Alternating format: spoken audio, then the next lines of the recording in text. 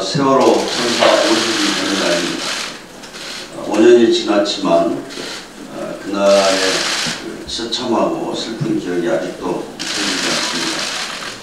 어, 똑같은 우리 아이들을 포함한 304명의 안타까운 희생을 보면서 어, 슬픔으로 숨이 막혔습니다. 어, 우리 국민들은 그날 바다에 국가가 없었다는 어, 깊은 절망과 분노를 느꼈습니다. 어, 희생자들의 영면을 기원하고 유가족들에게도 깊은 위로의 말씀을 드립니다. 어, 세월호 참사는 아직도 진행되고 있는 아물지 않은 상처입니다.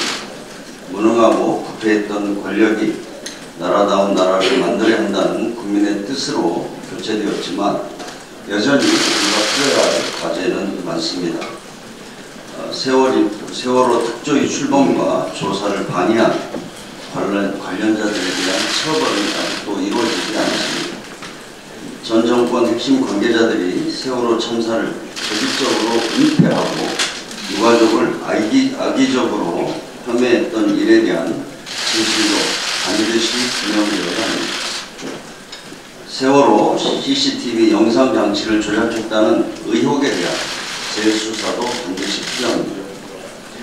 사회적 참사 특조위원회에서 검찰총장에게 재수사를 요청하면 검찰총장이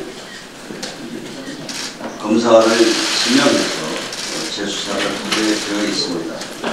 지금 세월호 청사 특조위원회에서 어, 최근에 세월호 CCTV 영상 장치를 조작했다는 의혹을 밝혀냈습니다만 이런 사실을 포함해서 아마 어, 검찰에 재수사를 요청하는 그런 어, 절차가 이루어질 것으로 저희들은 보고 있습니다. 철저한 조사가 이루어지고 어, 진실이 밝혀져야 세월호 상처가 비로소 아물 수 있을 것입니다.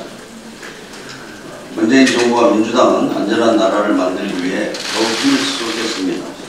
잊지 않겠습니다. 그리고 행동하겠습니다. 국회가 해야 할 일도 있습니다.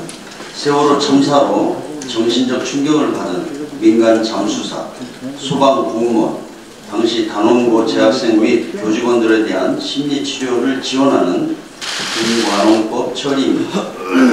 법안이 발의된 지 2년이 지나도록 한국당의 반대로 법사위에 계류되어 있습니다. 세월호 5주기를 맞아 이 법안을 조속히 처리할 것을 자유한국당에 촉구합니다.